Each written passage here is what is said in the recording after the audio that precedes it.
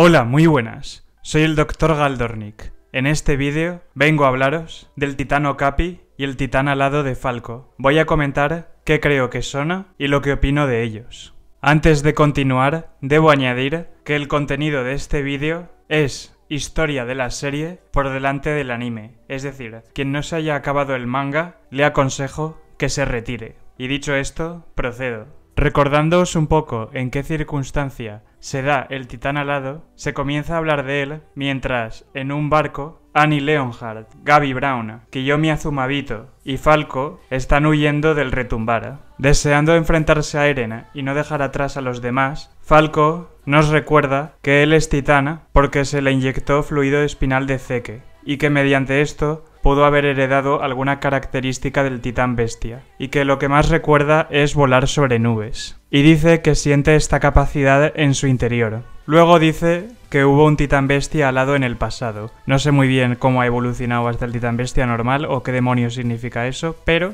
Y también dice que su titán difiere del de Porco Galiar, pues el titán mandíbula de Falco parece un ave y el de Galiar parecía un mamífero. Esto lo podemos comprobar viéndolos. Y mientras tanto, en el otro lado del mundo, el resto de personajes se está enfrentando al titán fundador. Y en esta trama podemos ver que suceden varias cosas raras. Primero, aparecen todos los titanes Warhammer que existieron alguna vez. Y también todas las versiones de los titanes inteligentes que alguna vez han existido y titanes del pasado. Uno de estos titanes que llaman la atención es el titán Okapi. No sabemos qué es, si es uno de los nueve titanes en una versión anterior, si es otro titán inteligente desaparecido, ¿Qué demonios es este titán? Puesto a ser alguna versión antigua de los nueve titanes, para mí sería o bien el titán de ataque, o el titán bestia, o el titán mandíbula, o el titán carretera. No se me ocurre qué otros de estos podría pertenecer, dado que el resto los veo incompatibles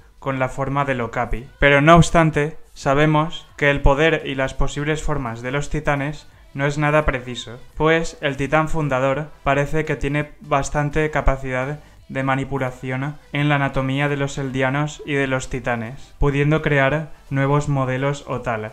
Pero esta capacidad no está definida exactamente en cómo funciona. Pero parece que es muy poderosa, pues se han llegado a crear millones de titanes colosales. Así que podría ser que este titán Okapi no fuera ningún titán inteligente, sino que fuera algún modelo suelto de titán corriente, como lo son estos grandes titanes colosales. Y por otra parte, es probable que la historia que se nos haya contado hasta ahora de los titanes y de los eldianos no sea todavía del todo correcta o falte información, pues constantemente en esta serie hemos visto diferentes versiones de la historia. Podría ser incluso que el titán Okapi no fuera ninguno de los nueve titanes, pero sí que fuera un titán inteligente y que antaño hubiera más titanes inteligentes aparte de los nueve titanes conocidos. Sobre el titán al lado de Falco voy a comentaros lo que opino de esto no contradice la lógica interna de la trama, aunque los argumentos que ha utilizado Falco han sido un poco vagos y convenientes para el guion, lo reconozco,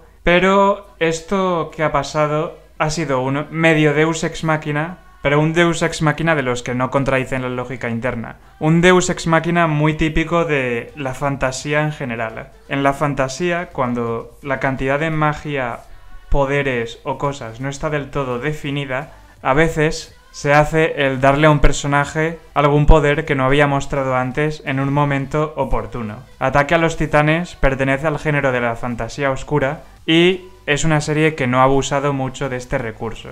Es más, no recuerdo un momento donde lo usara salvo este, aunque quizá luego den más explicación del titán de Falco, no me extrañaría. Pero hay bastantes cosas de los titanes que aún no sabemos y que están por descubrir, pues la serie aún ha dejado incógnitas sobre ellos. No sabemos exactamente cómo lo obtuvo Ymir Fritz ese poder y cómo lo fue propagando, cómo se formaron los otros ocho titanes, cómo se fabrica el suero titán que utilizan los marleyanos y muchas otras incógnitas. Entonces, quedan solo dos capítulos de manga, espero que se expliquen más cosas, aunque no sé si le dará tiempo al autor, quizás sean capítulos más largos. Pero bueno, estoy satisfecho con el resultado en general. Según cómo lleve el final, me puede gustar más o menos, pero bueno, me parece aceptable perfectamente lo del titán al lado o lo del Okapi, porque ya os digo, el tema de los titanes es un poco impreciso en esta serie, deja incógnitas y cosas. Así que